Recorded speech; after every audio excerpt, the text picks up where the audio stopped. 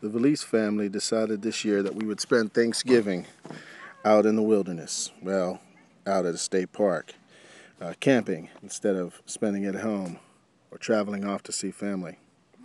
We started our trip with a breakfast back in Tallahassee at Canopy Roads, as you can see. My awesome blueberry pancakes. Well, first thing we did when we arrived at camp was to locate the bathrooms, always an important part of a family camping vacation. This is our campsite uh, we set up here at Goldhead Branch State Park. A great site, first time at this campground, but lots of room. Uh, barely, barely can see our neighbors uh, from side to side. We thought by going camping for Thanksgiving we'd avoid uh, the basket full of groceries. As you can see, that's not exactly what happened. Keystone Heights, Florida, where you can rent a tuxedo at Ace Hardware. By the way, they also had a florist, a Yankee candle, and other things right there in the Ace Hardware.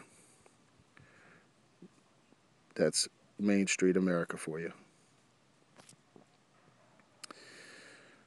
Uh, not forgot that picture was in there. No camping trip would be complete without without Dogfish Head. 60 minute IPA. Dinner the first night. Hot dogs over the campfire. Doesn't get any better than that. And this is the family's first night around the campfire. It's starting to get a little chilly now.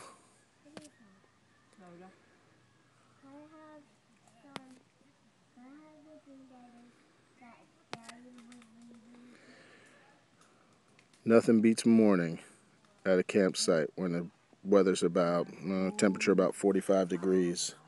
There's no better breakfast in the world. And there's no better view than waking up in the morning and seeing this. Keystone Heights does have its problems, though.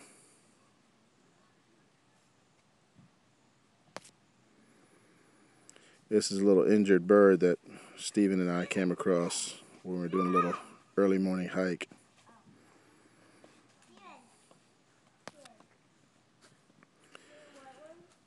Although it's sideways, this was Maria's message on Thanksgiving afternoon, written in the sand. Finally, we'd sit down to our first Thanksgiving dinner at our campsite. You can see we had scaled down a little bit, but not missing any of the essentials. We had awesome smoked turkey prepared by Jeff Lightfoot, mashed potatoes and corn, rolls, gravy.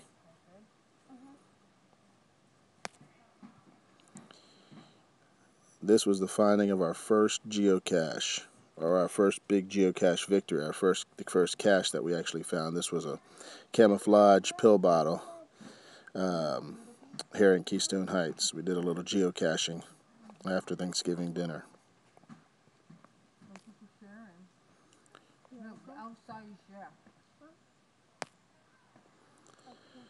Thanksgiving night by the campfire. Stephen getting comfortable, though a little close to the fire, I think.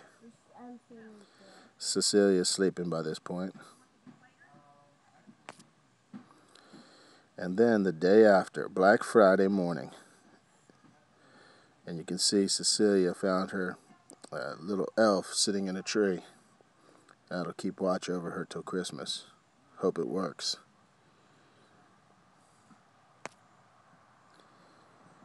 Just a couple of shots with just a couple of hours to go before we leave the campsite. Well, we hope this will become a tradition in the Veliz family. We had a great time. Until next year. I'm out.